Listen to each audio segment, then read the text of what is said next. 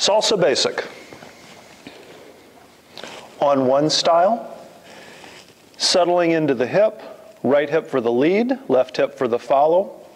Leads left foot's coming forward, rocking, rock, replace, step back. Second half for the leads, right foot back, left foot replace, right foot forward. So for the leader's part, forward, in place, slightly back, back, in place, slightly forward.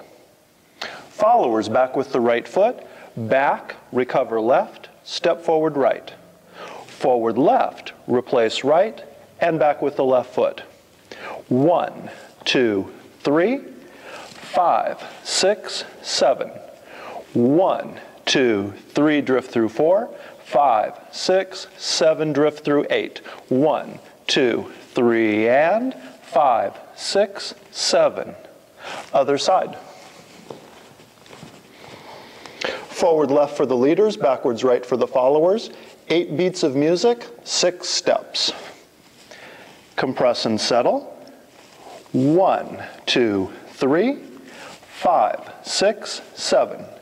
One, two, three, five, six, seven. One, two, three, five, six, seven. We can also start in a practice position. If you're completely new, we can do either two hands or we can catch elbows. It gives more room in the feet. You don't have to be as synchronized with your partner. Settle into your hip.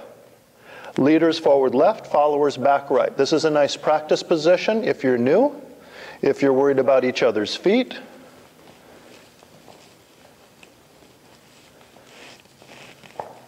Make sure to change weight when you rock forward. We don't want to simply do a touch. See, I haven't changed weight. The follower, the lady needs to feel me put my weight into it, bend the knee, and change. When I go backwards, she needs to put the weight onto the forward foot. If the music's fast, you may get a Charleston effect where you're just touching. Try to change weight six times. Very nice practice position the other side. Again, we're in a practice hold. One, two, three, five, six, seven.